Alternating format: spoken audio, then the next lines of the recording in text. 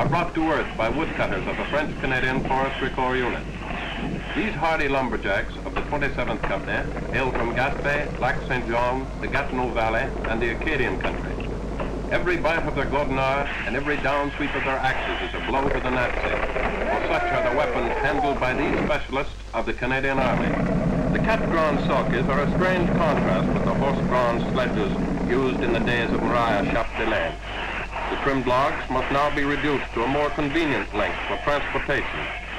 These brawny shantymen are experts at handling the crosscut saw.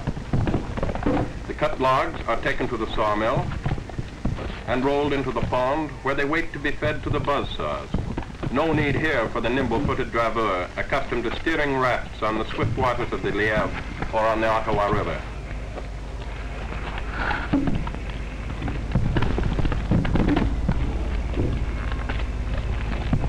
As the finished lumber comes out of the sawmill, it is taken to the woodyard and stacked in big piles, ready to be sent wherever it may be needed.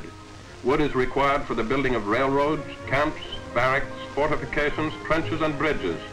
This is indeed vital war work these French-Canadian woodsmen are doing in the forests of Scotland.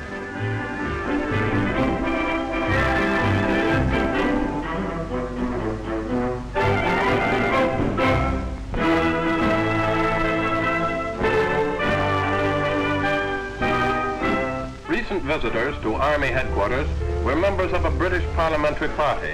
They included Lord Marchwood and Air Commodore Lord Stansgate from the House of Lords, and Sir Percy Hardy and Mr. R.C. Morrison representing the House of Commons. The occasion was an informal visit to General McNaughton before they left for Canada. The Canadian trip is being held under the auspices of the Empire Parliamentary Association, which arranges for British and Dominion statesmen to see for themselves how things are done in other parts of the British Commonwealth. And as they left for Ottawa, they knew at first hand of the readiness and eagerness for battle of Canada's fighting men.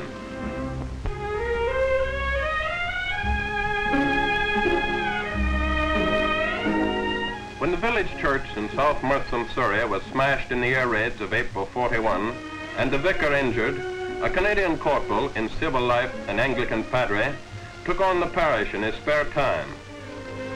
Thanks to him and thanks to a detachment of Canadian engineers, a new church arose beside the old one, built from the materials salvaged from the ruins. The padre, Captain George Wolfendale, now promoted from the ranks and in the Canadian chaplain service, and the engineers responsible had reason to watch with pride the opening ceremonies performed by the Bishop of Southwark. Present were senior British and Canadian officers, the local branch of the British Legion, the ARP, and other members of the congregation. The Canadian Army itself has reason to look with pride on this small building, for it symbolizes the lasting comradeship of many units to many communities. It leaves in South Merstham a unique war memorial, built by Canadians of many denominations, a work of their hearts and their hands.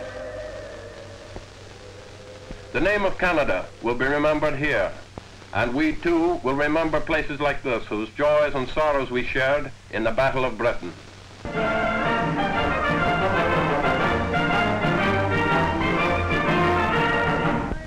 Most infantry soldiers feel that parade ground smartness is an infantry specialty and regard engineers as the fellows who do the tough jobs involving science and technical skill. But the sappers are just as smart on parade as anyone else. In fact, this display of precision drill by a battalion of the Royal Canadian Engineers would put many an infantry unit to shame. Acting on a single word of command, the squad goes through a series of movements with perfect timing and steadiness.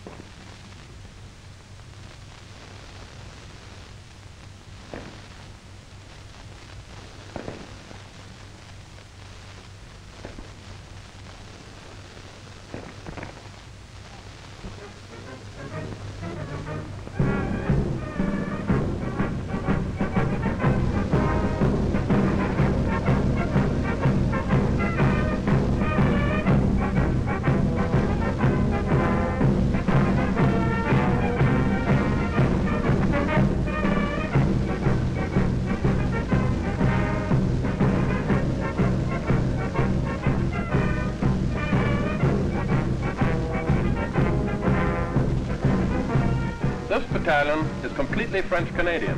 Its personnel is drawn not only from the province of Quebec, but from every part of the Dominion.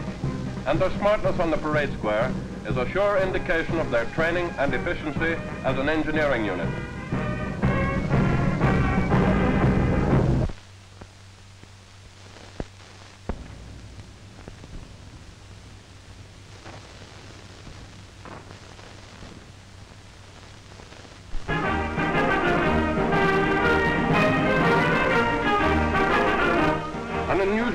Story with a Canadian angle came out of a recent victorious campaign in Tunisia. It happened in the Goubellat Plain, where Sergeant Major L.A. Dumais of the FMR was attached to a British unit. Dumais suggested to the CO that, in view of the terrain, horses be used for patrol work instead of Bren carriers. The CO, who was a keen horseman, agreed to give it a try. The colonel himself often led the patrol, and some of the riders were former jockeys and stable boys. And so this English regiment, acting on a Canadian suggestion, kept up the old tradition of fox hunting. Only this time the fox was human, the enemy. On the occasion of this particular raid, the objective was a small farm held by the enemy, and a British Army film unit cameraman went out with the patrol.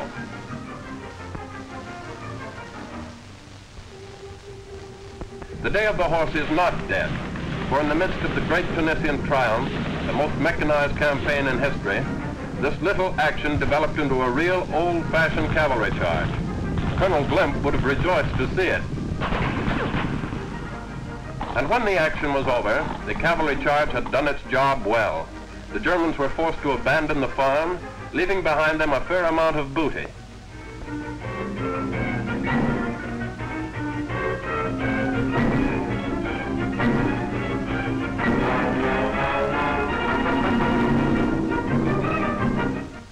Sergeant Major Dumais, the originator of the mounted patrol idea, is a veteran of Dieppe, where he won the military medal.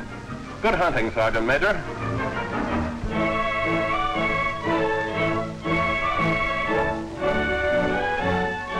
To historic Edinburgh Castle on its high rock, go each month to study under veteran Pipe Major Ross three or four Canadian pipers. They see the sights like Mons Meg, the old cannon, and hear stories of the old pipes and souvenirs that hang on the walls in the school itself. This old set of pipes at one time belonged to the late Earl of Airlie, and he presented them to the Scots Guards. I carried them all the way through the Boer War. Eventually they were handed over to me to keep them as a present. They brush up on their fingering with the practice chanters, bagpipes without bags or drones. Each man plays his own music in his own time. It's every man for himself. But make no mistake, this is no matter for jest by mere Sassenachs. Canadian and Scottish pipers studying the classic music of the pipes together within the hallowed walls of Edinburgh Castle cement a proud brotherhood.